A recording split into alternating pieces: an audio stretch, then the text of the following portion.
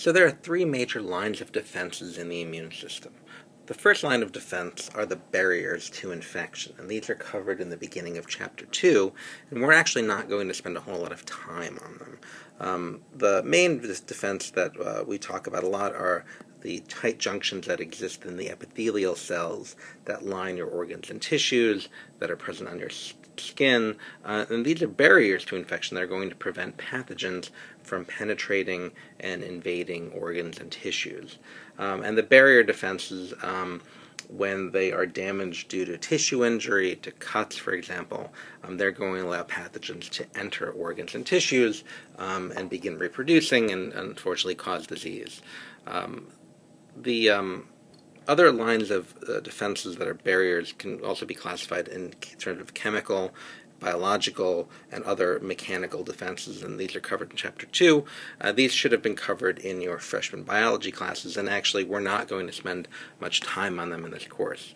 Um, you should know they exist, uh, things like the low pH of the stomach, um, or lysozyme in tears, um, that are, has an antibacterial property. But again, this is not the uh, main uh, part of the course. What I would like to talk more about are the um, innate and acquired immune defenses, which are the majority of the course. So, Unit 1 of the course is going to cover innate immunity. And so, what do we mean when we talk about innate immunity, which are covered in chapters 2 and 3 of the textbook? Uh, the first weapon we're going to learn about is the complement system, which you may have briefly touched upon in freshman biology. It turns out it's a very complicated system of proteins that are present in your uh, humors, in your fluids.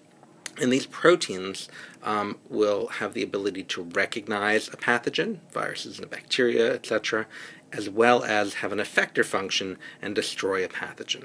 So we're going to cover in great detail how the complement system recognizes pathogens and then uses its effector function to destroy pathogens.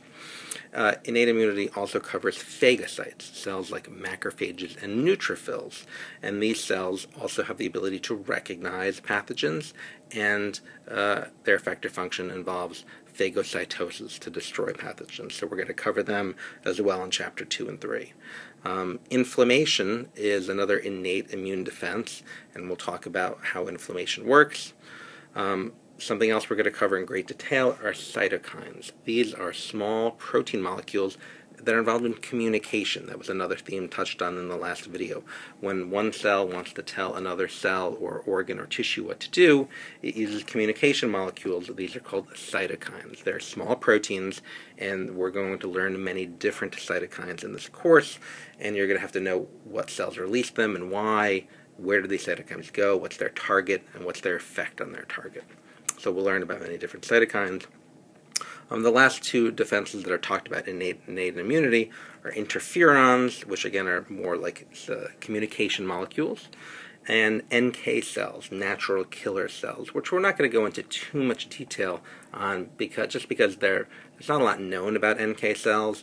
Um, they're pretty confusing, um, what we do know, so we probably won't spend a whole lot of time on NK cells. These are weapons of innate immunity. So, what's great about them is they work really quickly. They recognize pathogens very fast, minutes to hours, and they exert their effector function very quickly, again, minutes to hours. The problem with innate immunity is it doesn't work all that great because it doesn't improve, it doesn't adapt to the pathogen. So um, it can't get better over time. Um, still pretty good, and we're going to go into detail into all these innate immune defenses. Uh, but again, uh, good, but not going to be uh, able to rid the body of everything. So those are innate immune defenses we'll cover in Unit 1. Uh, unit 2 and 3 will cover adaptive immunity, also known as acquired immunity. Sometimes I'm going to use the term adaptive immunity, sometimes I might say acquired immunity. They mean the same thing. And this is broken down into two arms, which again you might have learned in freshman biology.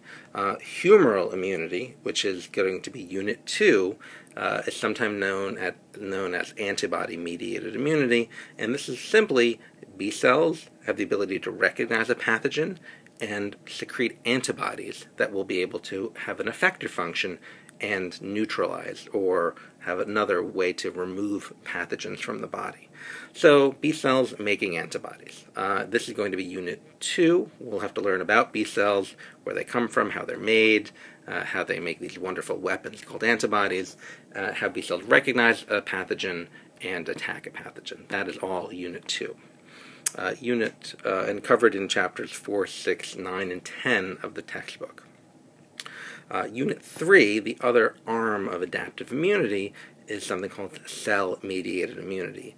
Uh, these are T cells. There are different types of T cells in the body, but T cells um, also have the ability to recognize a pathogen, recognize an infection, and then promote clearance of the infection.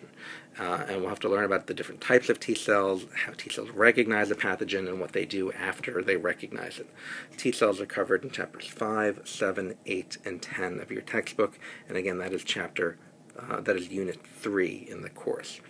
The thing about adaptive immunity is their ability to recognize and unleash an attack takes usually days, if not weeks, to occur. So it's a very slow um, ability to recognize uh, a pathogen and release its effector function. So while innate immunity is going on, trying to keep the pathogen in check, adaptive immunity is going on as well. Uh, but once adaptive immunity unleashes its attack, it's a very um, specific attack. It's very selective for the pathogen. It matches the path- pathogen, and it's very effective because it evolves to fit the pathogen. So we'll have to talk about um, how the uh, adaptive immune system uh, evolves to fit its pathogen in order to remove it from the system. Um, and adaptive immunity, both humoral and cell mediated, are what provide a person with lifelong protection or memory. And we'll have to cover that as well um, when we cover that in this course. Um, we will cover throughout um, units 1, 2, and 3 immunodeficiencies, and that's covered in chapter 13 of the text. If there is a genetic defect in some aspect of the immune system, in, innate or acquired, uh, you're going to be missing an ability to attack a pathogen, and that could lead to uh, immunodeficiencies. We'll cover those in this course.